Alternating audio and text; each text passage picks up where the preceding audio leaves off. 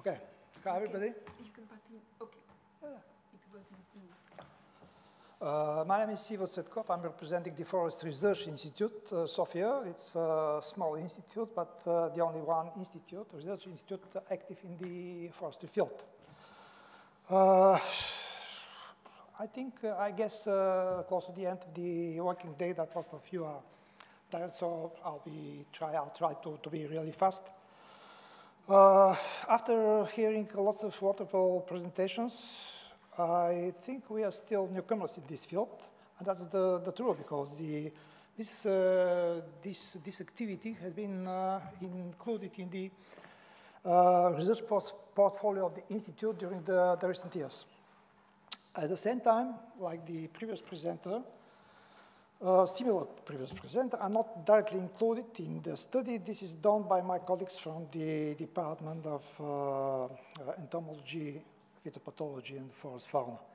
Anyway, I'll try to, to present you, uh, in short, two very simple uh, studies as an illustration of the, the potential use of the remote sensing uh, for uh, assessment of phytosanitary state of uh, trees and shrubs in uh, forest ecosystems as well as in uh, urban green areas. The first study is devoted on remote sensing assessment of expansion dynamics of Ips typographus. It's, it's well known, the European spruce bark beetle. And its damages in Chuprene Reserve. The objective of the study is to assess dynamics of attacks and damages caused by the European spruce bark beetle in Chuprene Reserve. Some interesting facts about the reserve. It's a former biosphere reserve. Uh, actually, it was uh, withdrawn the last year from the list.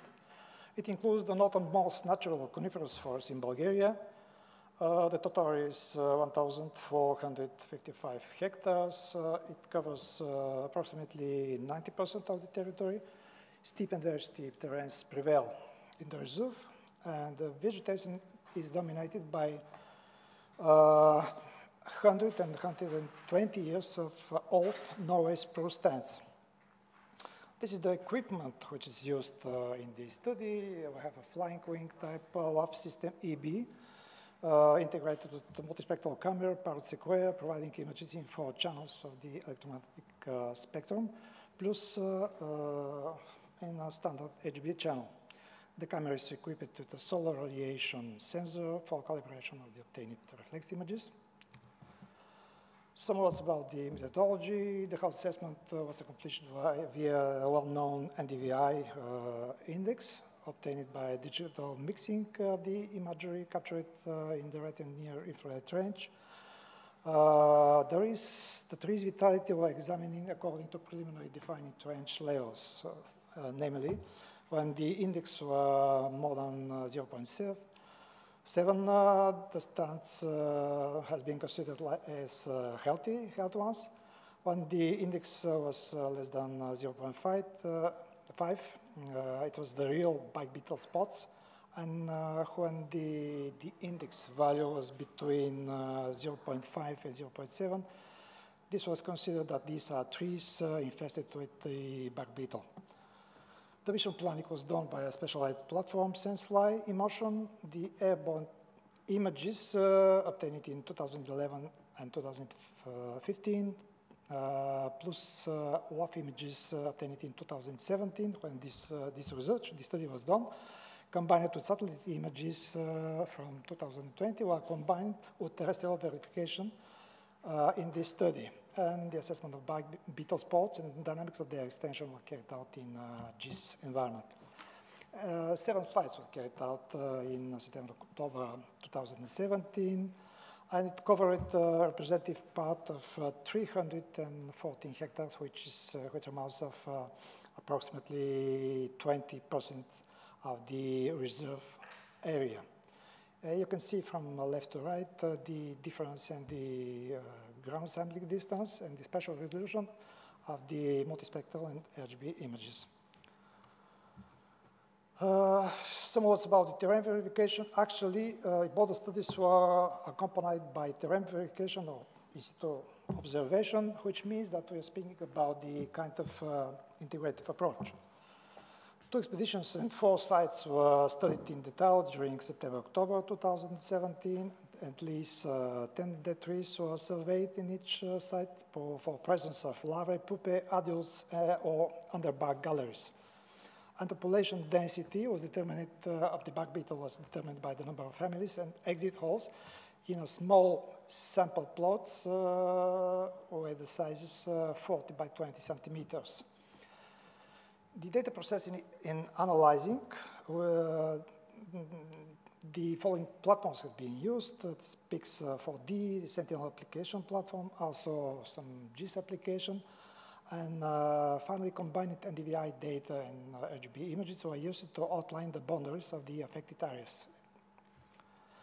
This is the table uh, where you can see the final results. As you can see, uh, the area of damaged areas increased during the years, and only here you can see that average spot area uh, during the last year, 2020, uh, decreased, and actually uh, it was due to the appearance of new infestation and some new migration spots. Uh, finally, satellite images showed that the bark beetle killed spruce trees on an area of uh, approximately 10% of the total reserve area. This is the second study. It's devoted to integrated assessment of green infrastructure condition in the Karlovo urban area by in-situ observation and remote sensing. The objective is similar to apply an integrated approach for monitoring the health condition of urban green infrastructure areas by remote sensing and in-situ observation. Uh, some words about the Karlovo. Karlovo is a small town with uh, 28,000 inhabitants situated in central Bulgaria at the south foot of the Balkan Mountains. According to the, our national concept for special development, uh, different kind of uh, categories of uh, urban ecosystem were developed. Uh, this kind of typology, and the, the study was focused on the uh, G5 sub-level, namely these were urban green areas, in, which included also sport and leisure facilities. This is the studied urban green areas in Karlovo town. Uh, the first one, it was Park Apostol The second one, it was the central part of the city. The third one, the hunting park and the city around the, uh, in the city, the, the, area around the city stadium. And the last one, it was a waterfall, call it Suchurum. It's uh, situated in the northern park. Uh, the remote sensing equipment and uh, methodological details are more or less the same. Uh, also, the study was uh, combined with in-situ observations. Uh, two observations were done in the period May-July 2016.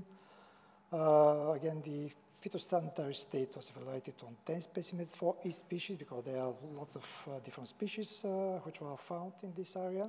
And the harmful effects and damages were estimated on the basis of the percentage of crown defoliation and leaf discoloration according to well-known cooperative program forests